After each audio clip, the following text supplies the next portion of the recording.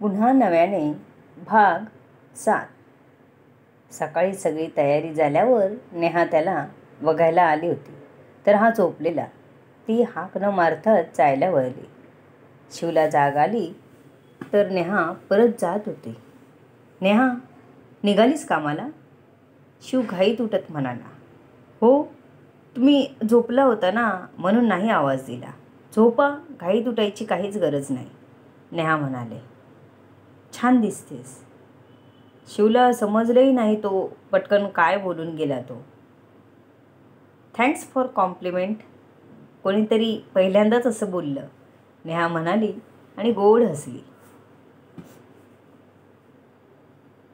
शिवला कळलं आपण तिला नकळत बोलून गेलो आहे पण आज ती खूपच छान दिसत होती. का मला तिला सांगावं असं वाटलं? तिने तर विचारलंही नव्हतं. ओके जाऊ दे. किती विचार करतो मी. स्वतःच्याच डोक्यात एक टपली मारून त्याने बेडवर परत लोटांगण घातला. आज तिला बघून त्याला काय झालं होतं कळ कळत नव्हतं. हिप्नोटाईज झाल्यासारखं होत होतं. सारखं वाटत होतं तिला जवळ घ्यावं आणि बरंच काही फिलिंग त्याला त्या क्षणार्धात येऊन गेल्या. डोक्याखालची उशी काढून त्याने जवळ घेतली आणि घट्ट मिठी मारली. असंच असंच तिलाही जवळ घ्यावं असं वाटलं होतं त्याला. छे त्याला भावना थांबवणं कठीण झाल्या होत्या. कदाचित मन मानत नसलं तरी शरीराला ओढ असावी असं त्याला सारखं वाटत होतं. त्याने सकाळी सकाळीच त्या येणाऱ्या विचारांना बाजूला ठेवून तो बेडवरून उठला आणि फ्रेश व्हायला निघून गेला. फ्रेश होऊन येतो तोच चिन्मयने त्याला येऊन मिठी मारली. त्याला प्रेमाने मुका देऊन त्याच्याशी बोलत बोलत तो किचनमध्ये आला.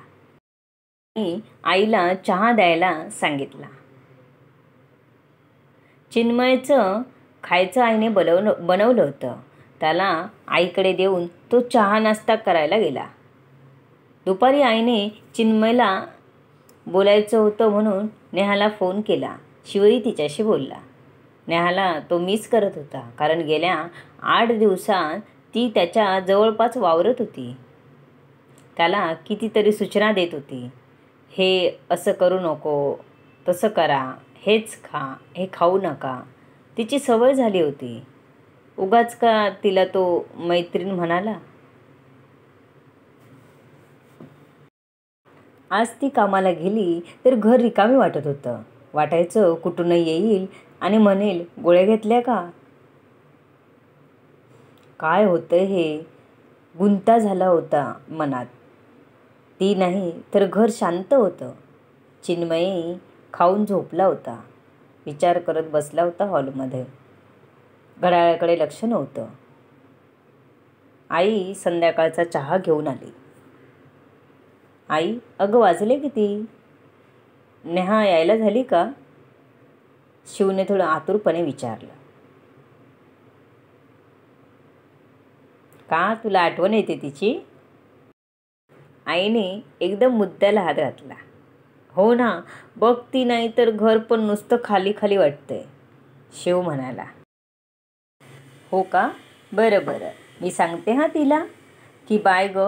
माझा पोरगा तुझी लई आठवण काढत होता बघ. त्याला आधी बघ तुझ्या आठवणीत बारीक होईल ग माझं पोरग. आई त्याची टर उडवत होती.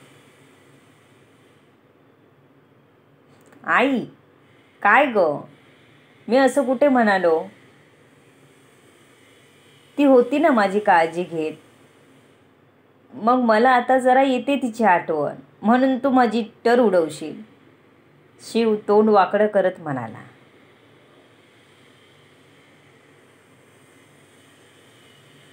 हे चाललेलं असतं संभाषण तेवढ्यात चिन्मय उठून येतो. बाबा बाबा करत त्याला उचलून घ्यायला सांगतो. चहा संपवून तो त्याला उचलून घेतो आणि इकडून तिकडे फिरत असतो.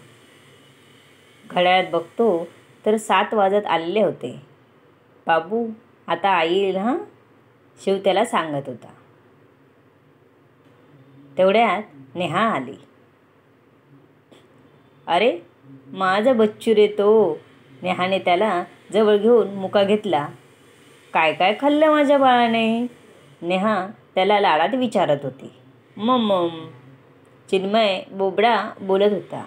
नकळत तिचं शिवकडे दुर्लक्ष झालं ती चिन्मयला घेऊन आत गेली. तिने साधं शिवकडे बघितलंही नाही. शिवला वाईट वाटलं. की मी हिची सकाळ कामावर गेल्यापासून आठवण काढतो आहे आणि ही आहे की माझ्याकडे बघतही नाही. तो येतो नाइन्साफी आहे. त्याला असा उदास विचारात हरवलेला बघून आईने विचारलं काय रे झालं? काही नाही. नेहा आली कामावरून ते माझ्याकडे बघितलं पण नाही. चिन्मयला घेऊन निघून गेली. शिव म्हणाला. अच्छा मन दुखलं का मग? माझ्या बाळाचं थांब तिचा कानच पकडते. पण मला एक सांग तिच्यासाठी एवढी ओढ ठेवतोस? जर तुला मी सांगितलं ते खरं नाही वाटत ना? मग तिला तिच्या बळावर राहू दे. तिला तुझ्याकडून अपेक्षा ठेवायला लावू नकोस. आई शिवला म्हणाले. आई असं नाही ग पण मला आतून ओढ वाटते मी नाही ठेवू शकत बंधन. आज मला दिवसभर तिची आठवण आली. काय करू? आल्या आल्या तिने चिन्मयसोबत माझीही चौकशी करावी हीच माझी अपेक्षा आहे. ती पण मी ठेवायची नाही का?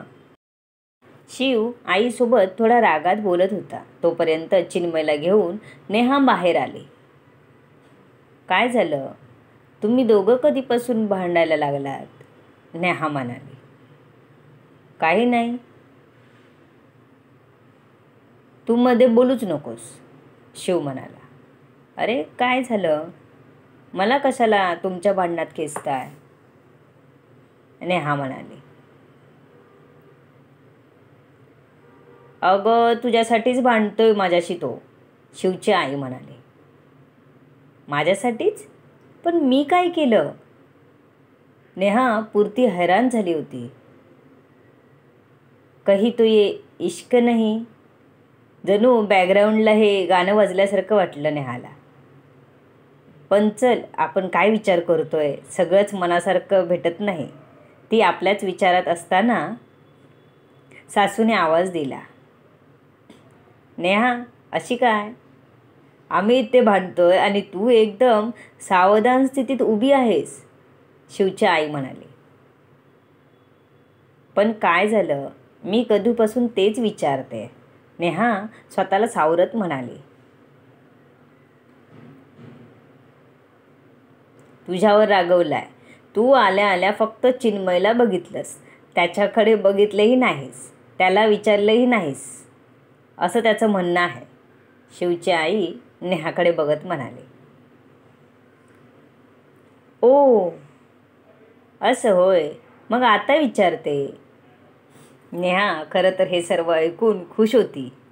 येस फायनली माझी आठवण आली असं ओरडायला मन करत होतं. पण सगळ्या भावना मनातच ठेवून ती एवढंच बोलले. कसे आहात तुम्ही? गोळ्या घेतल्या का? आजचा दिवस कसा गेला? नेहाने एका पाठोपाठ एक प्रश्न विचारले. शिव काही न बोलता फक्त बघून रूममध्ये निघून जातो. हा भाग इथेच संपला. भेटूया पुढच्या भागात. तोपर्यंत धन्यवाद.